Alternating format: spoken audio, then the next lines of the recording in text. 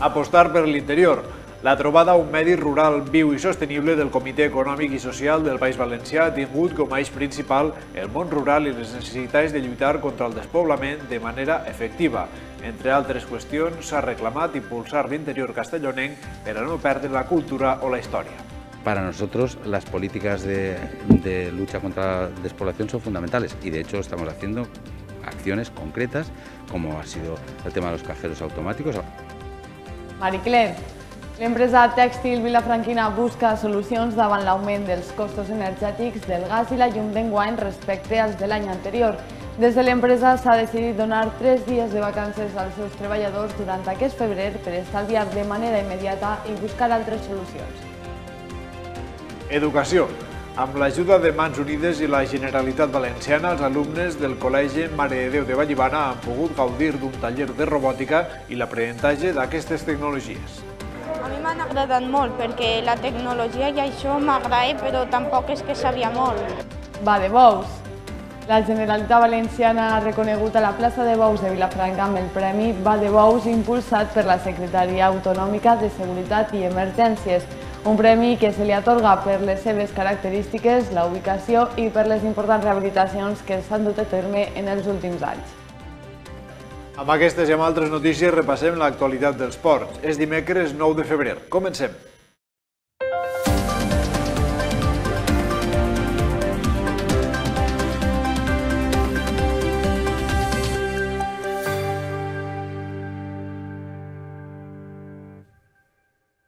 La trobada del Comitè Econòmic i Social del País Valencià celebrada a Castelló ha girat com a eix principal de l'encontre al voltant del món rural i la necessitat de lluitar contra el despoblament de manera efectiva. Allí, tant per part dels empresaris com sindicats i experts, s'ha reclamat a les administracions un major impuls de l'interior castellonenc i valencià per a no perdre la cultura, la història, el patrimoni i la biodiversitat que representa.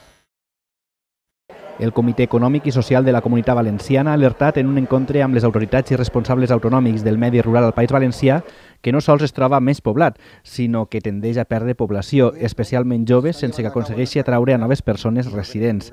Per això és precís que es gestionen polítiques públiques i d'orientació a recursos privats que permetran retenir la població i aprofitar tot el potencial que suposa l'existència de recursos naturals, medioambientals, culturals i patrimonials. Per això, segons el president del Comitè Econòmic i Social de la Comunitat Valenciana, Arturo León, es requereix comptar la implicació de les administracions públiques per a desenvolupar un medi rural. Este comprende el 85% del territorio y en torno al 20% de la población, albergando prácticamente todo el patrimonio ambiental y una parte muy significativa del histórico y cultural. Asimismo, constituye el entorno en el que se desarrollan las actividades del sector primario, que abastecen de alimentos seguros y de calidad a la población, jugando un papel muy importante en la gestión ambiental y contribuyendo a la creación de empleo, a la innovación y al equilibrio en el saldo eh, comercial de la, economía. ¿no? Arran d'això, el president de la Generalitat, Ximo Puig, ha valorat la importància del fòrum per posar en valor la importància de cuidar el territori rural i posar en evidència la lluita contra el fenomen de la despoblació. Nosotros tenemos una agenda valenciana contra la despoblación, que hay cosas concretas. Hay que decir que la comunidad valenciana también tiene fenómeno de despoblación. Hay muchas veces que cuando se habla de la España despoblada no se tiene en cuenta nuestra realidad. Hay demasiados tópicos. Nosotros tenemos que soportar permanentemente el tópico del Levante feliz y ni somos Levante ni somos feliz. Eh, quiero decir, estamos felices pero por otras cosas, no por razones, eh, digamos, eh, de carácter económico, porque realmente tenemos aún una renta per cápita por bajo de la media nacional de 12 puntos. Tenemos también problemas asociados a la despoblación en provincias como Castellón, que es la segunda eh, provincia más, de, más eh, montañosa d'Espanya. Així, Puig ha recalcat que és precís dotar el món rural de serveis públics de qualitat, explicant que cal dotar aquest territori de mitjans i recursos sanitaris i educatius, perquè no es tanquen ni centres de salut ni escoles, amb exemples com els caixers automàtics als pobles menuts, que per ara ja han arribat a Vallibona i està la instal·lació de Xiva en la comarca dels Ports.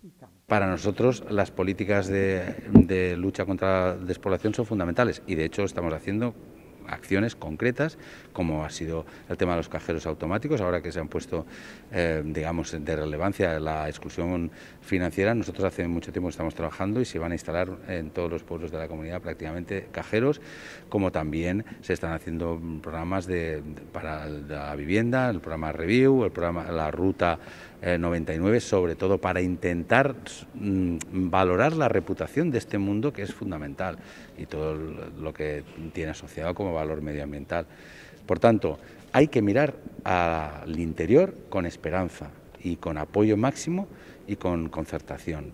El president de CES Espanya, Anton Cosas, va insistir en que ara és el moment del retorn del món rural al centre de les preocupacions polítiques de l'interès de la societat, una situació que arriba en un model d'indústria al límit segons Costas. El siglo XXI será el siglo del retorno uh, del mundo rural, del territorio, al centro de las preocupaciones de las políticas públicas en general, de las políticas económicas en particular, y también de las preocupaciones de la sociedad. De la misma manera que el siglo XX, podríamos decir de forma muy simplificada, naturalmente, ¿no? que fue el, el, el siglo de las ciudades, de la urbanización y de la concentración de casi todo ¿no? ¿Eh? en el centro, ¿no? esas fuerzas centrípetas que han operado en el siglo XX eh, han sido de una intensidad tremenda y han dejado, no solo en nuestro país, sino en otros muchos países, yo diría que en todos, por lo que después diré, en todos los países desarrollados, dejaron atrás, y en muchos eh, casos no solo atrás, sino en la cuneta, un poco a lo que llamamos mundo rural. ¿no?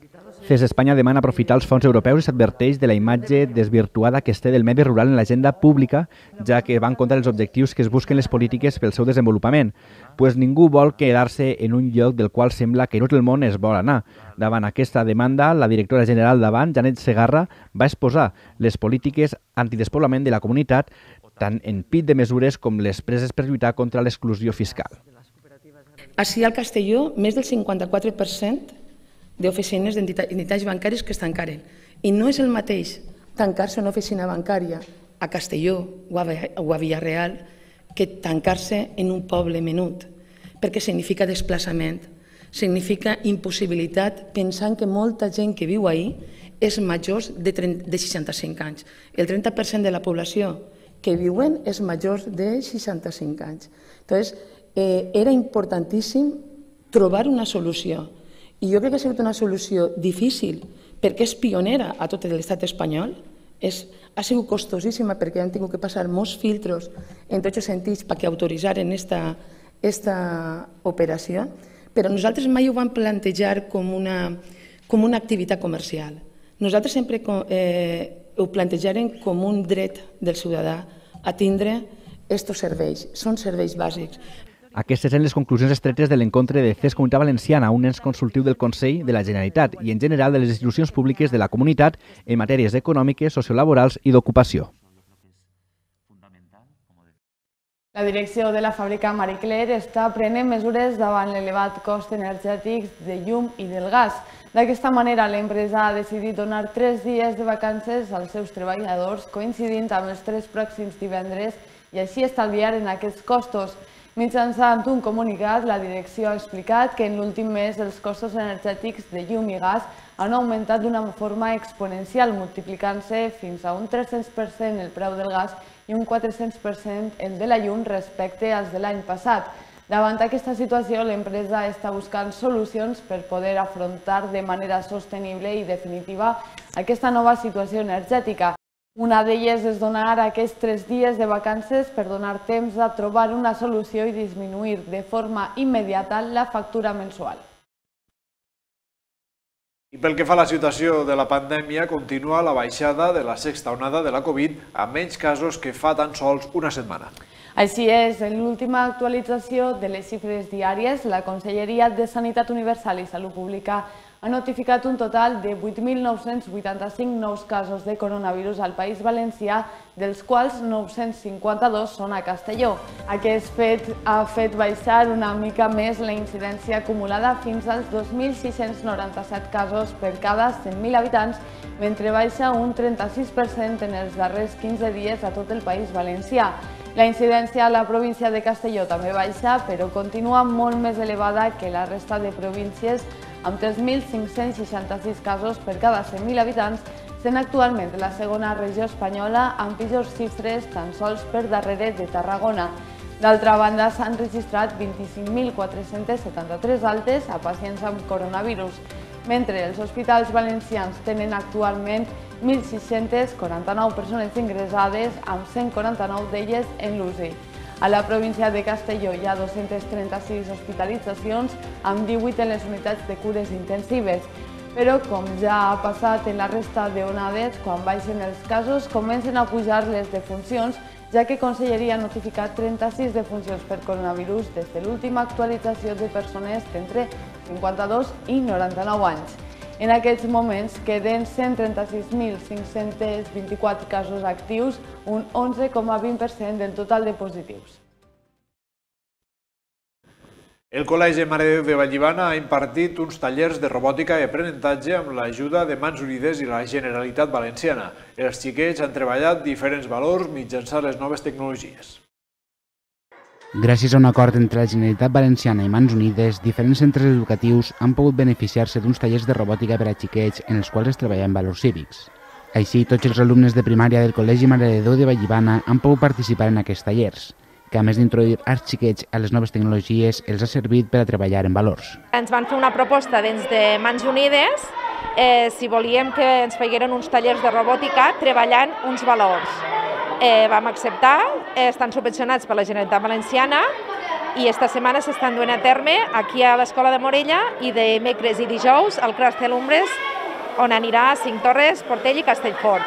Així, en cada taller es coneix una tecnologia i sempre per a realitzar exercicis que ajuden per una part a comprendre aquest aparell i per l'altra a treballar en equip o fomentar el pensament crític. Intentamos eso, que eh, con los tres talleres que estamos realizando, se les, en cada uno inculcarles un valor acorde a, la práctica que podemos desarrollar.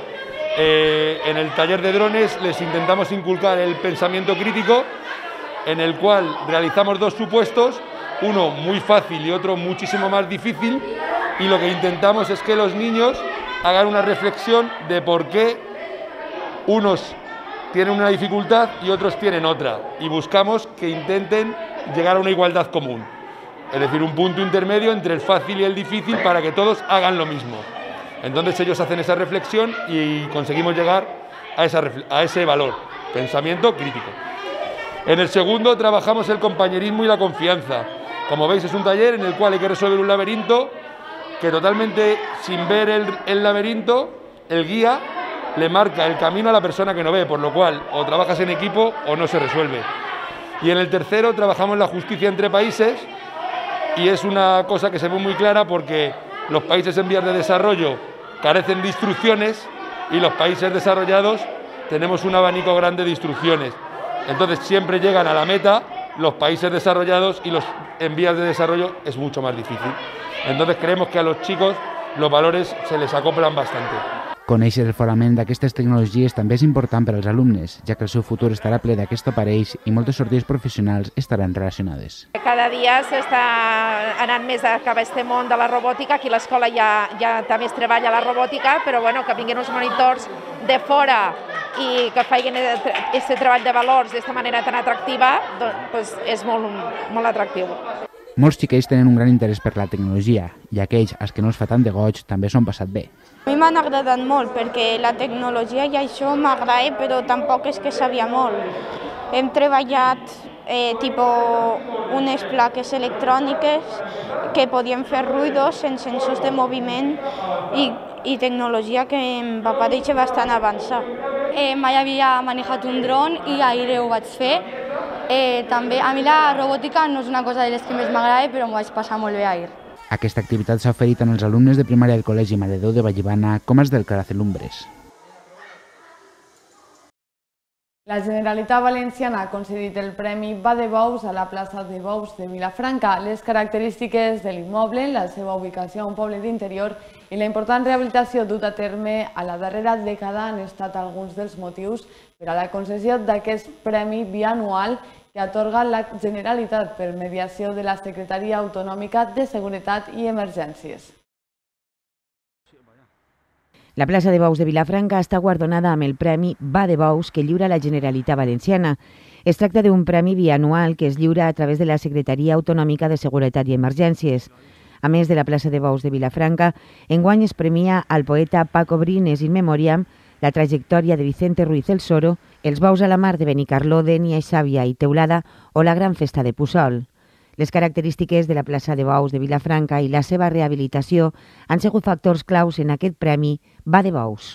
La Generalitat Valenciana eh, tots els anys trau, trau un, uns guardons eh, en els quals es, es diu un, el Premi Va de Bous i pues, aquest any eh, Vilafranca, Vilafranca no, la plaça de Bous de, de Vilafranca ha sigut la, la guardonada eh, donada la, donat que és una de les places de Bous eh, fora, que, té, que té una plaça de Bous eh, fora de la, lo que és la capital, la capital, les capitals i ens han donat aquest premi pues, per a, eh, com en el món rural, continuem encara en, en, tot el tema, en tot el tema taurí. Bé, com tots sabeu, pues, és una plaça que ara durant la pandèmia l'hem estat utilitzant eh, molt, igual per a espectacles taurins com, a, com per a altres espectacles eh, més culturals i, i algun esportiu, i la veritat pues, que estem molt, molt orgullosos de que, de que en Vilafranca pues, tinguem aquesta magnífica plaça i que ens hagi arribat aquest reconeixement també.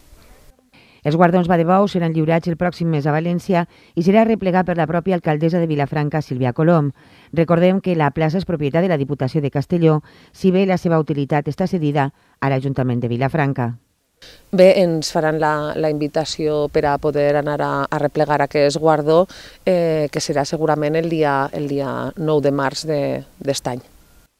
L'any 2006, la Diputació de Castelló va adquirir la plaça de Bous de Vilafranca, que anteriorment estava en mans privades, i des d'aquell moment es va iniciar les obres de rehabilitació ja per a la celebració del 75 aniversari l'any 2008.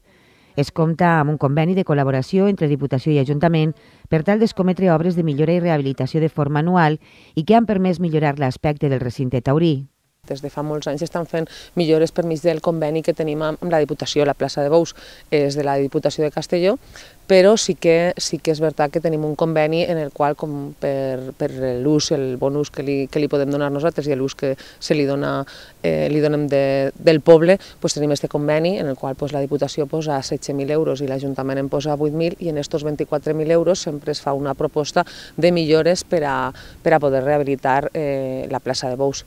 Eh, últim any vam fer una reparació eh, de, les, de lo que és la graderia per les grietes que, que s'havien format per, pel tema del gel i la, la neu i, i les pluges, també una reparació en una porta i l'acabament de, de la part exterior que se mos havia quedat un, un trosset sense, sense adoquí. Eh, pues com cada, cada any pues continuarem igual fent, fent aquestes millores pues per, a, per a poder disfrutar pues de, de la plaça de Bous. El guardó ha fet molta il·lusió a Vilafranca, donada la gran estima que els seus veïns i veïnes tenen cap a la plaça de Bous. Com bé s'apuntava, i amb motiu de la pandèmia i per les seves condicions a l'aire lliure, el recinte als darrers dos anys ha estat més utilitzat que mai tant per a espectacles taurins com per a concerts o altres tipus d'activitats culturals. L'àrea d'igualtat de la Mancomunitat està recorrent els pobles de la comarca amb cafès Tertúlia. Aquesta iniciativa pretén recollir totes les inquietuds i propostes dels veïns en matèria d'igualtat per adaptar les activitats que es fan durant l'any a les necessitats de cada poble. Els cafès Tertúlia ja han passat per Forcall i Herbès en els pròxims dies i ha programats per a la resta dels municipis. Des de l'àrea d'igualtat animen a tots els veïns i veïnes a participar en aquestes tertúlies per aportar les seues idees. Bé, des del Departament de la Mancomunitat Comarcal Els Ports el que hem fet és nomenar aquests tallers com a Cafè Tertúlia en Igualtat, on de forma periòdica anirem en cada municipi on eh, participen, evidentment, eh, des d'un principi les associacions de dones. Ahir és on consensuem totes les activitats que duem a terme durant tot l'any i a part eh, l'objectiu del Cafè Tertúlia en Igualtat és parlar eh, de microcàpsules no? en igualtat on podem parlar en un principi des dels recursos que hi ha en prevenció i atenció a víctimes de violència de gènere i també com en matèria d'igualtat tots els temes que les dones des d'un principi, tant dones i homes, que també evidentment puguen assistir i vulguen assistir, eh, en aquest aspecte se trataran en aquestes tertúlies. El que fem és que convoquem uns dos tres dies abans eh, aquestes cafes tertúlies a través dels bancs dels municipis i totes aquelles persones interessades que vulguin assistir ho podran fer. En un principi hem iniciat aquesta ronda en Forcall i en revés i també des d'ací el que incito i sobretot faig una crida a tota la població que assistisca per a poder participar dels cafès tertúlies en igualtat. El Festival Gastroliterari Morella Negra com la trufa enguany tindrà també una vessant solidària amb les persones afectades per l'erupció del volcà Cumbre Vieja a La Palma. Des de l'organització s'ha decidit que els actes d'aquesta setena edició comptaran amb una taquilla inversa per a aquesta causa en col·laboració amb el Festival Aridane Criminal de los Llanos de Aridane, població de l'illa de l'arxipèlag Canari. Durant el cap de setmana el festival tindrà present aquesta població amb una connexió amb Alexis Ravelo, director d'Aridane Criminal, i en la inauguració també participarà la regidora de Cultura del poble, Charo González, un festival que arribarà el pròxim 18 de febrer i que s'allargarà durant els tres dies del cap de setmana per apropar a Morella el gènere literari de novel·la negra. Des de l'organització també s'ha informat que cal reservar les entrades per acudir als actes degut a l'aforament limitat amb el qual compta el teatre per la situació sanitària. Entrem en temps d'esports. El Club Bàsquet Morella Infantil està aconseguint grans resultats en els seus últims partits. El conjunt morellà ha guanyat els quatre partits que porta disputant a la primera zonal. Aquest passat cap de setmana aconseguia dues victòries davant del Villarreal i del bàsquet Comenius València, uns resultats que fan afrontar a l'equip el que queda de temporada amb molta il·lusió. L'equip infantil del Club Bàsquet Femení Morella afrontava aquest passat cap de setmana dos partits a casa a la Lliga de la Primera Zonal i els resultats van acompanyar de debò, ja que el conjunt morellà va ser capaç de guanyar els dos partits. Dissabte contra el Villarreal Bàsquet Club amb el resultat de 61 a 20 i diumenge amb la visita del bàsquet Comenius de València al que van superar pel marcador final de 66 a 30. Tocaba jugar dos porque el tema del COVID pues nos ha ido haciendo retrasar algún partido y bueno, pues este fin de semana hemos metido uno ahí y, y hemos jugado dos. El sábado jugamos contra Villarreal, cerramos marcador, eh, 66-26 creo, no, no, me acuerdo ahora mismo el resultado exacto. Y nada, las chicas fantásticas, un partido muy bueno y, y en la línea de lo que estábamos haciendo. Y ayer jugamos contra Comenius de Valencia, ya habíamos jugado el fin de semana anterior con ellas allí en Valencia, allí ya le cerramos el marcador y ayer estuvimos a punto, ganamos de 36 y realmente si no les metimos mucho más fue porque se metieron en zona atrás y, y en previsión de, un desastre de ellas prefirieron hacer algo feo y, y evitarse una derrota súper abultada porque la verdad es que el partido empezó, empezó muy fuerte para nosotras, 21-5 ganábamos en los cinco primeros minutos ellas vieron que la cosa iba a ser un desastre y se metieron atrás y, y bueno, ya está, bueno, el caso es que ganamos. El Club Bàsquet Femení Morella Infantil, sobretot al partit del diumenge, es va saber imposar davant d'una circumstància molt adversa al joc plantejada pel conjunt valencià del Comenius. Para rebajar un poco la euforia, ¿no? El partido fue bueno, pero el rival nos puso unas trampitas que al final nos costó resolverlas y, bueno, rebajar la euforia. El próximo sábado, que hay un partido importante, nos va bien ir un poco rebajaditos. El proper cap de setmana el Club Bàsquet Femení Morella Infantil juga fora i a més visita una de les canxes tal vegada més exigents de les que conformen aquest grup de la primera zonal. Ahora que viene jugamos en Alboraya con un equipo, ya veremos, a ver, de momento los resultados que ha hecho no son como los nuestros, pero pero son buenos, ya veremos a ver qué pasa el sábado. Es difícil Alboraya, és un campo sempre difícil, a ver. Pel moment, l'equip està aconseguint uns grans resultats a la primera zonal, ja que ha estat capaç de guanyar els quatre partits que ha disputat. Sense cap dubte, serà aquest un fantàstic aprenentatge de cara a la pròxima temporada en la categoria cadet. Es, eh, o nos quedamos en segunda zonal y ganamos bien, o subimos a primera zonal y perdemos bien también. Y de momento hemos ganado los cuatro, además por 30, 40, 40 y 36. O sea, las diferencias fuertes. Realmente, bueno, pues mira, eh, no sé, no sé cómo explicarlo. El trabajo que tenía pensado yo haber hecho en toda la temporada eh, ya lo hemos acabado antes de Navidades. Ahora eh, es, trabajar para el año que viene, que vamos a ir a cadetes. No hay que olvidar que el equipo es más joven de lo que toca. La mitad de, mi equipo no son, alevines, no son infantiles, son alevines. Estamos jugando en ellas están jugando en una categoría con niñas más grandes y el año que viene será más incluso porque eh, vamos directos a cadetes y las niñas serán recién ascendidas a infantil.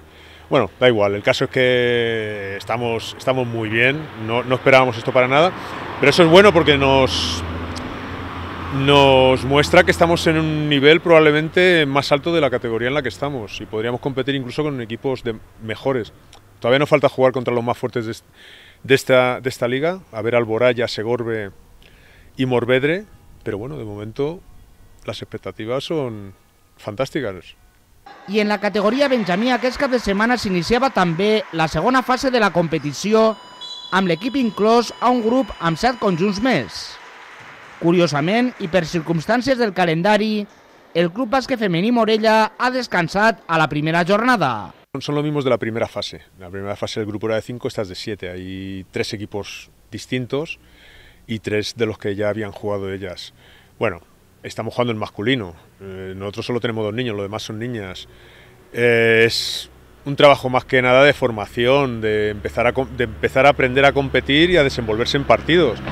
Entonces no hay un objetivo a nivel de resultados o de clasificación que se hayan marcado los entrenadores. Esto, este equipo lo lleva José Le y Dani y, el objetivo es que vayan aprendiendo y de momento la cosa va muy bien. Además ellas están felices jugando, que es lo más importante. Y, eso, pues que vayan aprendiendo a desenvolverse en un campo, a jugar y, a ir mejorando poco a poco, pero bien, las expectativas con este equipo son, son buenas.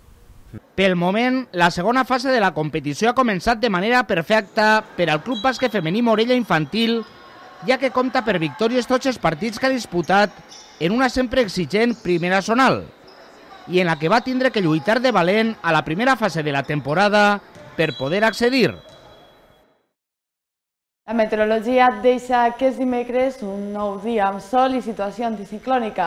Bon ambient a les hores centrals del dia i temperatures baixes negatives i amb rosades a la matinada. I així acabem avui el temps d'informació, però ja saben que a Nord la informació no descansa. Altres canals per seguir pendents del que és notícia als ports són els Port Ràdio, el 89.0 i el portal web Comarques Nord. Gràcies un dia més per confiar en nosaltres. Salut i sort.